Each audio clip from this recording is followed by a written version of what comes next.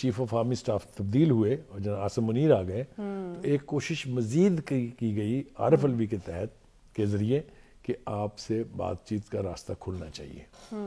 उसको भी कोई पजीराई नहीं मिली है। अच्छा। वजह यह कि उन्हें बताया गया होगा कि एक तरफ़ आप अपने कत्ल का इल्ज़ाम हम पे डाल रहे हैं दूसरी तरफ़ आप अपनी साजिश हम पे डाल रहे हैं और फिर हम ही से तो रख रहे हैं कि हम आपके लिए कुछ करें भी और आपसे बातचीत भी करें नहीं हो सकती। लिहाजा उन्होंने सोचा कि अब यहाँ से वापस हटना चाहिए। ये तो पे नहीं कर रहा। अच्छा। लिहाजा जरदारी साहब का नाम आ गया है। अब आप मुझे बताइए जरदारी साहब चलाक आदमी ना is is a intelligent player उसने वक्त ज़ाया ही नहीं किया इनको नोटिस ठोकते हुए। लीजिए मैं आपको आज बता रहा हूँ इस प्रोग्राम में और मैं इस हवाले से आपसे बात करूँगा आप जहाँ भी होंगी या मैं जहाँ भी होऊँगा। ये इससे वापस जाएँगे। ये इससे इसी मतलब तरह वापस जाएँगे जिस तरह उन्होंने नजम सेठी को कहा था कि इसने 35 पंक्चर लगाए और जब बाद में उसने सीरियसली इसका नोटिस लिया तो उन्होंने कहा कि वो तो एक सियासी बात थी वो तो मैंने मज़ाक में कहा था। मुतालबा है गैर मशरूत माफ़ी मांगने का वो कह रहे हैं गैर मशरूत माफ़ी मांगे मेरी साख और शौहरत को नुकसान पहुँचा। या तो वो इस बयान से मुकर जाएँगे या वो माफ़ी मांगेंगे क्योंकि ये जरदारी साहब का जो नोटिस है इनके गले पड़ने वाला है। ये जरदारी साहब इससे पीछे नहीं हटेंगे ये मैं बता रहा हूँ आपको। आसिफ अली जरदारी ने 10 अरब रुपए हर जाने का नोटिस जो है वो भिजवा दिया है और 14 रोज में गैर मशरूत माफ़ी मांगने का मुतालबा भी किया गया है। मन घड़त जो इल्ज़ाम हैं, उनसे साख और शोहरत को नुकसान पहुँचा है, ये उस नोटिस में कहा गया है। बुखारी साहब, ये तो आप खान साहब के बारे में कहते हैं कि जब जो दिलाता है वो बोल देते हैं, लेकिन मेरा ख्याल है कि कभी कभार सिचुएशन जो है वो आपके गले पड़ जाती है, ऐसे ही आप कुछ भी, कभी भी किसी के बारे में बोल नहीं सकते हैं।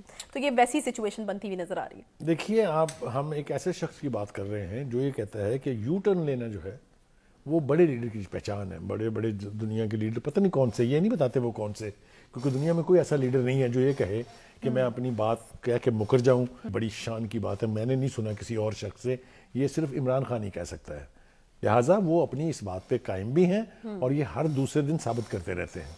अगर आप मुझे उनके ये अपने बयान से मुकर जाना अपने ऐलानात के उलट करना कि सबूत देने बैठा मैं तो पूरा वक्त जो है प्रोग्राम का गुजर जाएगा। हैविंग सेड दैट इसके पीछे थोड़ा सा पस मंज़र में जाना बहुत ज़रूरी है कि ये इल्ज़ाम उन्होंने जरदारी साहब पर क्यों रखा है? देखिए शुरू करें आप साइफर से। साजिश हुई उनके खिलाफ हुकूमत के उनकी हुकूमत के खिलाफ और एक सुपर पावर ने की यहाँ के मीर जाफरों मीर साधकों के साथ मिलके। याद है आपको? हम्म, बिल्कुल। उस बयानिए पे कायम है वो। नहीं जी वो तो अब कितने यूटर्न आ चुके हैं उसमें। ओके फिर उन्होंने कहा जी कि मैंने एक वीडियो रिकॉर्ड कराई है जो मैंने बाहर भेज दी है मुतलका हल्कों में जिसमें मैंने उन चार लोगों के नाम लिखे हैं जो मुझे मारना चाहते हैं। ठीक है। ठीक हो गया? उनमें जरदारी साहब का नाम नहीं है। ये नया एडिशन है ना। ठीक तो ये इसकी क्रेडिबिलिटी क्या रह गई? हुआ क्या है? हुआ ये है ये है। आ, मैं ये ये ये चीज़ मैं पूछना चाहती कि आखिर क्यों कर आसिफ अली जरदारी साहब का नाम डाल दिया ये गया? मैं अर्ज़ करूँ। ये नया उसकी वजह ये है कि जब इन्होंने देखा कि एस्टेब्लिशमेंट अब हमसे बात करने के लिए आमादा नहीं है अस्करी क्यादत तो खैर पलट के देखने के लिए भी आमादा नहीं है। बहुत सारी कोशिशें इन्होंने कराई। आपको याद होगा सदर, सदर आरिफ अलवी साहब के जिम्मे लगाया गया था। एक मुलाकात उन्होंने जनरल बाजवा के साथ कराई थी जो ईवान सदर में हुई थी। उसका भी नतीजा सिफर निकला था आपको पता है और उसमें जो एक चीज़ खुल के सामने आई वो ये कि एस्टेब्लिशमेंट या अस्करी क्यादत अब उनसे बातचीत करने के लिए सीरियस नहीं है। अच्छा। ठीक है? फिर एक कोशिश और की गई कि जब चीफ ऑफ़ आर्मी स्टाफ तब्दील हुए और जनाब आसम मुनीर आ गए तो एक कोशिश मजीद की, की गई आरफ अलवी के तहत के ज़रिए कि आपसे बातचीत का रास्ता खुलना चाहिए। उसको भी कोई पजीराई नहीं मिली है। अच्छा। वजह यह कि उन्हें बताया गया होगा कि एक तरफ़ आप अपने कत्ल का इल्ज़ाम हम पे डाल रहे हैं दूसरी तरफ़ आप अपनी साजिश हम पे डाल रहे हैं और फिर हम ही से तो रख रहे हैं कि हम आपके लिए कुछ करें भी और आपसे बातचीत भी करें नहीं हो सकती। लिहाजा उन्होंने सोचा कि अब यहाँ से वापस हटना चाहिए। ये तो पे नहीं कर रहा। अच्छा। लिहाजा जरदारी साहब का नाम आ गया है।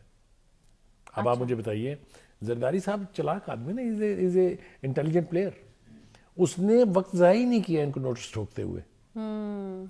लीजिए मैं आपको आज बता रहा हूँ इस प्रोग्राम में और मैं इस हवाले से आपसे बात करूँगा आप जहाँ भी होंगी या मैं जहाँ भी होऊँगा। ये इससे वापस जाएँगे। ये ये इससे इसी मतलब तरह वापस जाएँगे जिस तरह उन्होंने नजम सेठी को कहा था कि इसने 35 पंक्चर लगाए और जब बाद में उसने सीरियसली इसका नोटिस लिया तो उन्होंने कहा कि वो तो एक सियासी बात थी।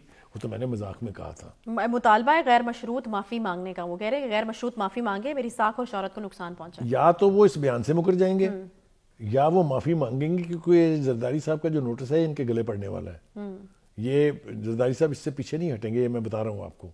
अच्छा। खान साहब को अब चाहिए कि अब वो थोड़ी सी संजीदगी इख्तियार करें सियासी मामला जात को सीरियसली लें सीरियसली हैंडल करें ये जो बेतुकी दरफुतनियाँ छोड़ी जा रही हैं ना कभी असद उमर साहब सामने आ जाते हैं कभी कोई आ जाता है कभी कोई आ जाता है। जिस तरीके से जस्टिफाई करने की कोशिश की जा रही है कि पैंतीस सीटों पर ये इलेक्शन लड़ेंगे भाई क्यों लड़ेंगे? कहाँ लड़ा जाता है? एनीवे और और बेपना बातें हैं जो मैं आपको कह सकता हूँ कि जो बेतुकी कराई जा रही हैं मिसाल के तौर पर लाहौर हाई कोर्ट से उनको रिलीफ मिल रहा है। उसकी वजह से शायद हमने एक दो दफ़ा बयान करने की कोशिश की है अपने प्रोग्राम में और लोग अब बड़े सियाने हैं। वो ना ये लिंकेज खुद ही बना लेते हैं कि क्या लिंक है ये। हाँ। कौन किसका दामाद है कौन किसका क्या है ये किसी को साबित करने की ज़रूरत नहीं होती। लोग बड़े सियाने हैं। उन सबको पता है कि कैसे हो रहा है। हाँ। लिहाजा आप ये देखें जिसको आप हल्की सी चुटकी काटें वो दौड़ता है लाहौर हाई कोर्ट की तरफ़। और वहाँ से रिलीफ मिल रहा है उनको। ये ये लाडलापन अदालत की तजहीक का बायस बनेगा। ये लाडलापन जिसकी रवायत रवायत डाली जा रही है ये जाओ 123 तीसवें नंबर पर हैं हम 190वें नंबर पर जाएँगे। अगर ये रवायत और ये सिलसिला जारी रहा तो। सही। अच्छा एक और अहम खबर है जिसको मिस नहीं किया जा सकता कि नाराज़ हैं शाहिद खाकान अब्बासी साहब और मियाँ नवाज़ शरीफ साहब की तरफ़ से एक बड़ा अहम टास्क मरियम बीबी को सौंपा गया और वो ये कि तहफात दूर किए जाएँ शाहिद खाकान अब्बासी साहब की, क्योंकि ये पहले तय हुआ था। आपको पता है कि लंदन में राना साहब से मुलाकात के दौरान कि अब जो नाराज़ रहनुमा हैं, उनको मनाने की कोशिश की जाएगी। तो मरियम बीबी के ज़िम्मे जो है, ये ज़िम्मेदारी लगाई गई है। तो आपको लगता है कि कुछ बनेगा या फिर अभी गिले शिकवे बहुत बढ़ चुके हैं?